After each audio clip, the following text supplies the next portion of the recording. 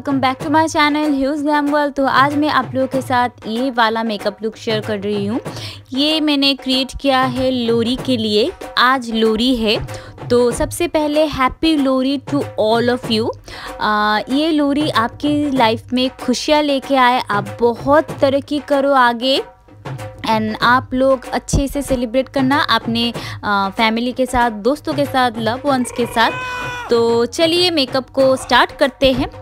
And right now I am bare face so makeup को start करने से पहले अपने हेयर को टाई कर रही हूँ। एक क्लिप की मदद से देन बारी आती है टोनर की। यहाँ पे मैंने गुड वाइब्स का रोज जिप वाला टोनर यूज़ किया है। टोनर ज़रूर यूज़ किया करो गाइज़ आपके जितने भी पोज है, वो मिनिमाइज हो जाती है। एंड साथ ही साथ आपके स्किन में हाइड्रेशन रहता है। तो यहाँ पे सीरम के लिए मैंने गुड वाइब्स का ग्रेप सीड सीरम यूज़ किया है। ये इल्यूमिनेटिंग सीरम है। मॉइस्चराइज़र के लिए यहाँ पे मैं स्पॉन्स का लाइट मॉइस्चराइज़र यूज़ कर रही हूँ। मैं फ़र्स्ट टाइम इसे यूज़ किया है and I am so so so impress इसकी वीडियो आने वाली है बहुत जल्द।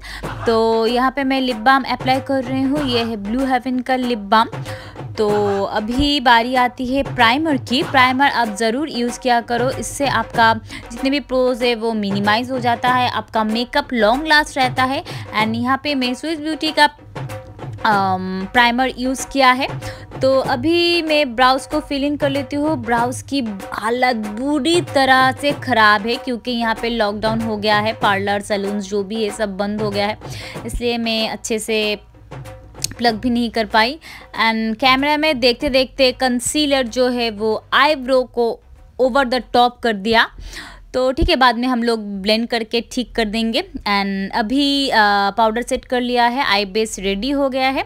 तो यहाँ पे ये येलो कलर लेके मैं बस क्रीज को बिल्ड कर रही हूँ। बहुत ही हल्के हाथों अपने क्रीज को बिल्ड करना है। एंड ये आई मेकअप आप कहीं पे भी क्रिएट कर सकते हो। एंड बहुत ही लाइट सा ब्राउन कलर लेके उसकी एजेस को ब्लेंड कर रही हूँ। ताकि कोई भी हार्श लाइन ना रहे। क्रीज में थोड़ा सा डेप्थ दे पाओ, इसलिए मैं एक ब्राउनी सा कलर बस थोड़ा बहुत ही लिटिल अमाउंट में क्रीज में दे रही हूँ।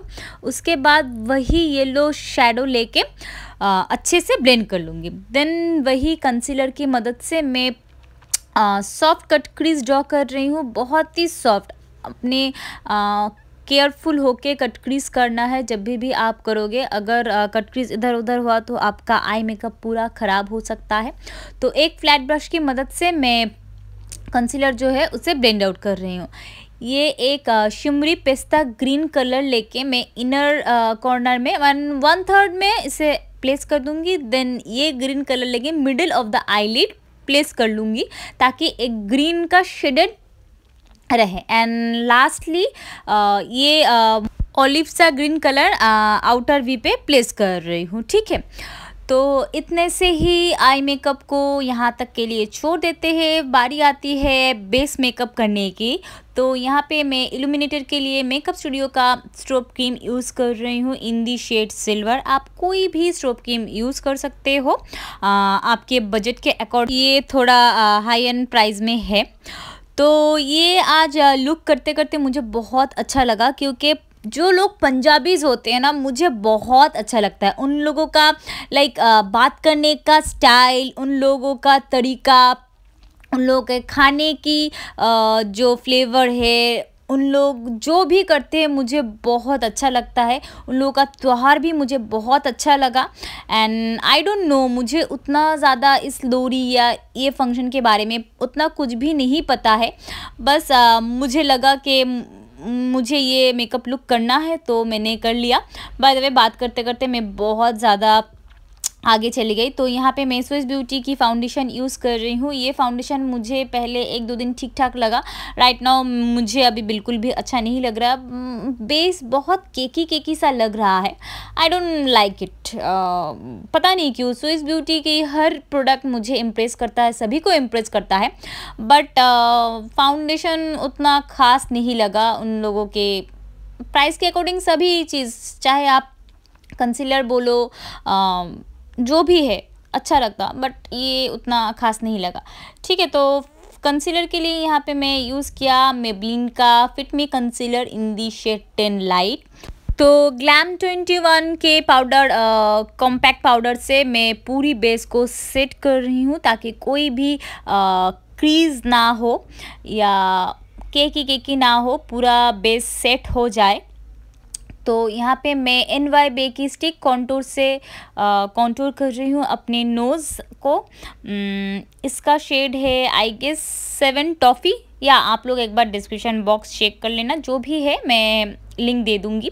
एंड उसके बाद आ बारी आती है पाउडर सेट की। गाइज़ अब जब भी क्रीम कुछ भी अप्लाई करो, उसके बाद आपको पाउडर से सेट करना होता है। चाहे आप आ, cream contour cream blush cream highlighter कुछ भी अप्लाई क्यों ना करो आपको लास्ट में आ, पाउडर से सेट करना है। ओके अब बारी आती है लोअर लाइन की। लोअर लाइन में मैं वो येलो कलर से समझ किया एंड आउटर कॉर्नर में थोड़ा थोड़ा वो ग्रीन कलर ऐड कर दिया। तो आज मैंने यहाँ पे आईलाइनर ड्रॉ किया है। ये है लैक्मी का आईलाइनर तो मस्कारा के लिए यहाँ पे यूज़ किया हूँ। मेबलिन का कलोसिल मस्कारा बहुत बार इसको लेके बोल लिया।